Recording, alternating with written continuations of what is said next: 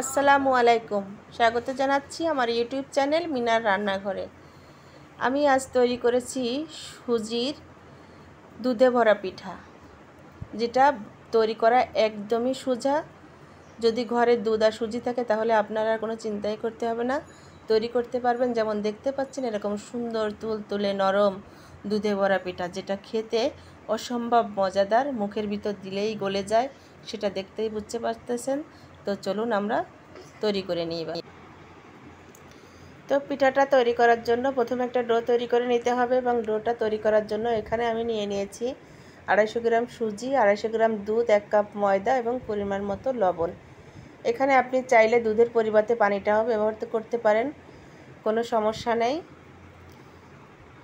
তো এবার আমি প্রথমে চুলায় একটি প্যান বসিয়ে প্যানের মধ্যে দুধটা দিয়ে দিয়েছি এবং ছোট এক কাপের এক কাপ পানিও এখানে দিয়ে দিয়েছি, লবণটা দিয়ে দিয়েছি। দেওয়ার পরে যখন বলক উঠে আসছে, তখন আমি এটার মধ্যে দিয়ে দিচ্ছি সুজিগুলি। সুজিগুলো দিয়ে একটু নাড়াচাড়া করার পরে দিয়ে দিব ময়দাটা। ময়দাটা এখানে পুরো এক কাপটা হয়তো লাগবে না, যতটুকু লাগবে ততটুকুই দিয়ে দিব। ময়দাটাও সুজির সঙ্গে একইভাবে নেড়ে চেড়ে মাখিয়ে ফেলতে হবে। তো যখন নাড়াচাড়া করে সুন্দর একটা ডোতে পরিণত হয়েছে, তখন আমি এটাকে নামিয়ে ফেলতেছি। নামিয়ে ঠান্ডা হওয়ার জন্য রেখে দিয়েছি। যখন হাত দিয়ে ধরার মতো ঠান্ডা হয়ে আসছে, তখন এটাকে আমি কিছুটা রান্নার সাদা সরিষার তেলটা এটার মধ্যে দিয়ে হাত দিয়ে সুন্দর করে চটকিয়ে চটকিয়ে মেখে নিব। পাঁচ সাত মিনিট এভাবে সুন্দর করে ডলে ডলে মথে নিতে হবে। মথে নেওয়ার পরে দেখা যাবে যে সুন্দর একটা সফট ডোতে পরিণত হয়ে গেছে। যেমনটা দেখতে পাচ্ছেন, এখন এই যে হাতের ভিতর নিলে যেভাবে বানাবেন সেভাবেই হয়ে যাচ্ছে এবং হাতেও লেগে যাচ্ছে না। একদম পারফেক্ট একটি ডোতে পরিণত হয়েছে।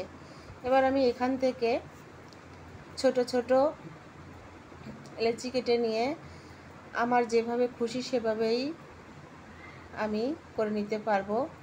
আপনার কাছে ছাঁচ থাকলে ছাঁচ দিয়ে করে নিতে পারবেন। আপনি আপনার ইচ্ছা মতোই নিতে পারবেন। এখানে আমি মিষ্টির শেফের আকারে পিঠাগুলোকে তৈরি করে নিব।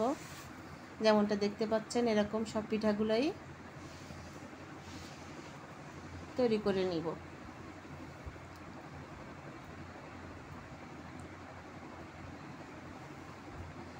তো একে একে প্রায় আমার সব পিঠাগুলোই তৈরি করা হয়ে যাচ্ছে। শেষ হয়ে গিয়েছে আমার সব পিঠাগুলো তৈরি করা। দেখতে পাচ্ছেন, এই যে আমার সব পিঠাগুলো হয়েছে।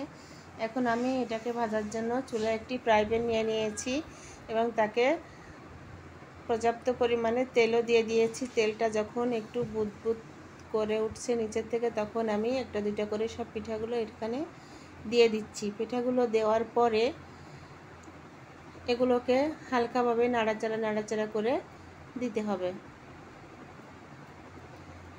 দেওয়ার পরে এক পর্যায়ে দেখা যাবে এগুলোর কালার চেঞ্জ হতে শুরু করেছে।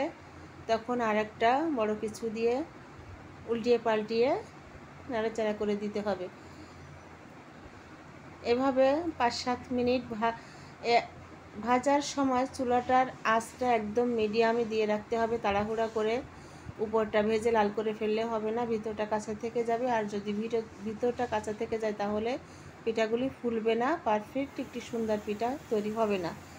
তাই আস্তে ধীরেই এগুলোকে ভেজে নিতে হবে। ভেজে নেওয়ার পরে আমি পিঠাগুলো তৈরি করতে করতে এখানে একটা দুধের সেরা তৈরি করে নিয়েছিলাম। এখানে এক লিটার দুধ নিয়েছি এবং আমি এটার সঙ্গে কিছুটা পাউডার দুধও মিক্সড করে দিয়ে দিয়েছি। দিয়েছি কয়েকটি এলাচি এবং সামান্য একটি লবণ দিয়ে আমি বলক ওঠার পরে চোলাটা বন্ধ করে ঢেকে রেখে দিয়েছিলাম। এখন দেখতে পাচ্ছেন যে হালকা একটু ধোয়া ধোয়া উঠতেছে, এরকমটা গরম আছে। আমি তার মধ্যে সব পিঠাগুলো দিয়ে ঢেকে দুই ঘণ্টা রেখে দিচ্ছি। দুই ঘণ্টা পরে যে দেখতে পাচ্ছেন আমার পিঠাগুলো কি সুন্দর হয়েছে। আমার ভিডিও ভিডিওটা যদি আপনার ভালো লেগে থাকে অবশ্যই একটি লাইক দিবেন, কমেন্টস করবেন এবং সাবস্ক্রাইব করে আমার সঙ্গে থাকবেন নতুন নতুন ভিডিও দেখার জন্য। আরও ভালো লাগবে যদি আমার ভিডিওগুলি শেয়ার করেন।